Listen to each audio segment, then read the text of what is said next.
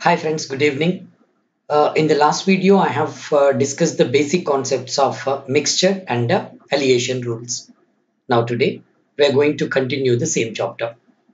In the last video, we had discussed 3 to 4 basic level problems to make the beginners also to understand the concept in a proper manner.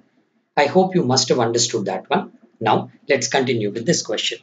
Now, this question you see, in this question, they have given in this way uh, in what ratio a trader should mix uh, in what ratio a trader should mix uh, tea at uh, 110 rupees a kg and another variety of tea at 150 rupees a kg so that by selling the mixture at 132 rupees a kg he may gain 10% is the question. Now you see many students are doing mistake particularly the beginners by taking this one in this way suppose if it uh, they are mistaken. Where are they doing the mistake? Here this 132 rupees straight away they are taking this 132 rupees as a mean price there with the alligation rules. Now they are doing in this way. 132 rupees as the mean price. Then they are taking 110 rupees on one side and uh, 150 rupees on the other side and going for the rule of alligation but observe here, this is the wrong method, this wrong way of doing this one. Why is this wrong way of doing that one? Because I told you very clearly in the previous video, when we are making the rule of alligation, applying the rule of alligation, always remember all the three values should be of the same kind. But here, all the three are not of the same kind. This 110 rupees is the cost price and this 150 rupees is the cost price whereas this 132 rupees is the selling price by selling the mixture. Now you see by selling the mixture. This is selling price. I cannot take cost price cost price and selling price for alligation rule purpose. For that reason first of all you need to convert this selling price in terms of cost price. How to convert selling price in terms of cost price uh, already we have learned that one in the profit and loss first video. If you want that one uh, the beginners, you may refer that profit or loss part 1. So now let's go for this one. How to convert this 132 rupees to cost price there. Simple way. Now they have given selling price as 132 rupees. Then profit percentage is 10%. And of course, in this type of questions, we always should take cost price as 100%, right? Now very clearly this 100 plus this 10, 110% of cost price is equal to 132. Now 100% of the cost price is how much? Now simply that is 100 by 110 into 132. Now you can simplify this one. This is 11 ones and 11. Uh, this is uh, 2's 20, 12. So that is 120. Now you observe here, this 120 rupees is the cost price. All right. Um, I'll explain you this is for the beginners. Now, if you want to do straight away, you can do this one 132 into 100 by 110. Directly, you can get the value. Now, you are it now. We can go for the uh, alligation rules. What are the alligation rules? Rule here. Simply, I can go like this. I want to take this uh, 120 rupees as the mean price that is cost price. Now we can very easily take this one.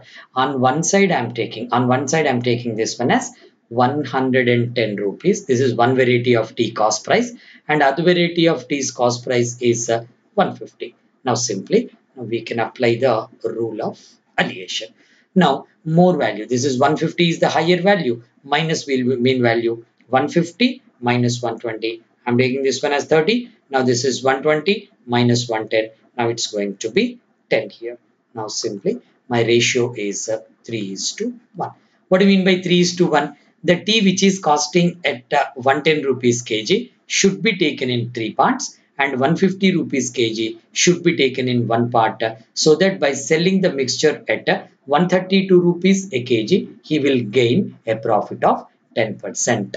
Now this is the way to go for uh, mixture means uh, uh, profit and loss problems by using this alligation rule. Hope you understood this one, right? And this question, only one thing is there. You cannot take 132 as the mean, mean price. Since it is selling price, convert that selling price in terms of the cost price. That's very, very important. All right. Now, let's move on to the second problem. Right, now let's move on to the second problem. Now they have given the second problem, how many kgs of rice at uh, 35 rupees a kg be mixed with uh, 70 kgs of rice at uh, 55 rupees a kg. So that by selling the mixture at 48 rupees a kg, he may gain 20%.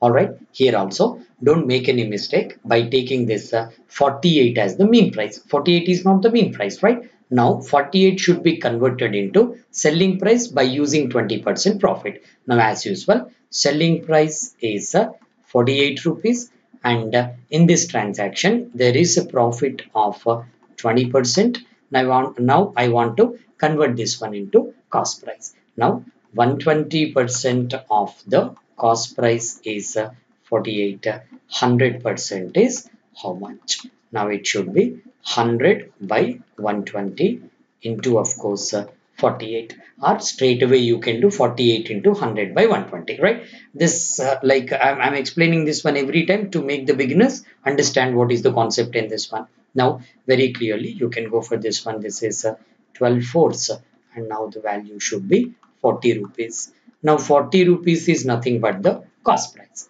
now i'm taking this cost price as the mean value now this is 40 rupees then followed by I can make the rule of alligation, apply the rule of alligation. One side I'm taking 35 rupees a kg and other side it is 55 rupees a kg. Now very simply I can get 55 minus 40 that is 15 and this is 40 minus 35 that is 5. Now the ratio is uh, 3 is to 1 like the previous question right? 3 is to 1 but here the extension is that uh, what do you mean by 3 is to 1 35 rupees a kg worth rice should be mixed in three parts with 55 rupee kg a rice which should be taken in one part. So that by selling this mixture at 48 rupees a kg he will gain 20%. Now here the question is how many kgs of this 35 rupees a kg should be mixed with 70 kgs of rice which is for 55 rupees a kg? Means 55 rupees a kg rice is already there in 70 kgs with me. That is the quantity. Now clearly by ruling by applying the uh, ratios here applying the rules of ratios simply I can say in 3 to 1 ratio already I'm having 55 rupee kg rice as one part and this is uh, 35 rupee kg is three parts now clearly one part in my ratio is equal to 70 kgs now 3 parts equal to how much? Now very clearly my answer is going to be 70 into 3, 210 kgs. Right? Now finally my answer is going to be the rice which is costing at 35 rupees a kg must be mixed with the 55 rupees a kg by taking 210 kgs uh, with the 70 kgs of 55 uh, rupees a kg so that the mixture can be sold at 48 rupees a kg to gain 20% in this transaction. Hope you got the idea, right? So now this is how you need to go for this one. Only additional thing in this question is in the ratio already I know one part. You need to find out the second part, right? Now let's move on to the third problem in this row. Now let's move on to the third problem now. The third problem says uh, in a zoo they have given one second we'll go for this now, the third problem says, uh, in a zoo, they are uh, some parrots and some deers they have given. If their heads are counted, these are 400 in number. And if their legs are counted, these are 850 in number. How many deers are there in the zoo? Now, see friends, this question can be done in, uh, means with the help of uh, algebra also by taking something as x. Now I'll show you that one. I'm not going to solve the question anyway with the help of uh, pure mathematical method algebra. We will use uh, uh, alligation rules here for even this question. But before going for that one, let us see how to go for this. Alright, with the help of algebra, I can do this one. Since they have asked uh, what is the number of deers in this one. What's the number of deers when suppose if I take deers as x of course parrots is uh, total animals if their heads are count 400 means total animals are 400 now it should be 400 minus x. Then after that with the help of this counting of legs I can make an equation and I'm going to solve the problem. But I'm not going to solve in this method. Let's use a mixture alligation method for this one. Instead of saying mixture and alligation there is no concept of mixture for this question. I'm going to use simply rule of alligation here. Simply. Now let us go for the mean value. Now here I'm going to take the mean value as uh, 850 so now this mean value 850 but remember 850 are legs. All right. So since the very basic rule of alligation, when you have taken legs here now the other two also must be of the same kind in terms of legs. I'm taking here only two types of animals are there. One is parrot and other type of animal is deer they have given. Right. So now uh, total number of heads. If the heads are counted this is 400 in number. What do you mean by that one total number of animals is 400 so deers and parrots together uh, animals is uh, 400 now let's do the question in this way. Now what is the number of legs of uh, all the parrots there?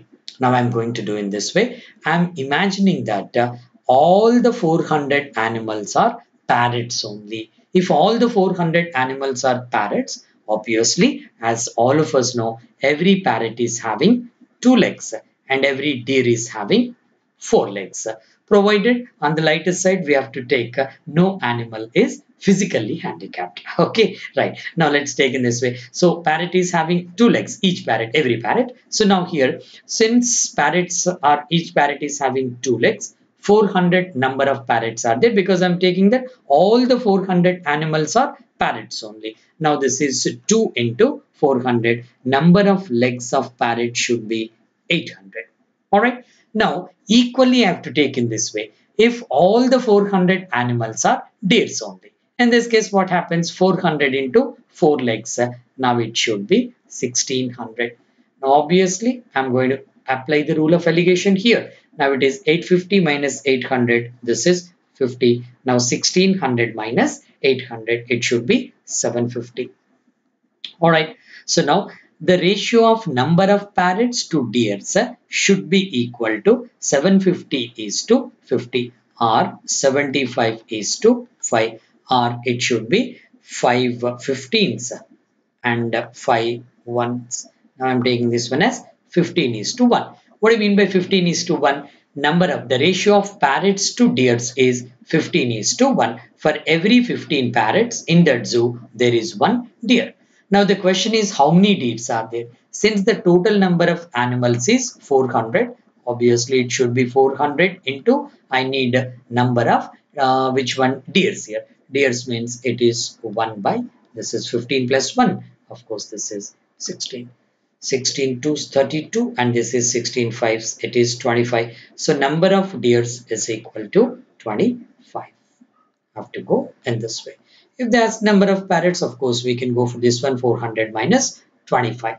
Hope you got the idea. See, observe this one. Rule of alligation or rules of alligation can be applicable in, in many chapters. As I told you in the first video, it can be applicable for percentages, then uh, profit and loss, then simple interest and time and distance. And this type of general problems also we can use uh, rule of alligation. But remember friends, while going for rule of alligation, there uh, there should be two things only right it should be bifurcated into two then followed by all the while going for this uh, rule of alligation first the mean value and rest of the two values must be of the same kind and even there are three types of things also we can use a rule of alligation i'll give you in the advanced videos right? Now let's go for the other problem in this video.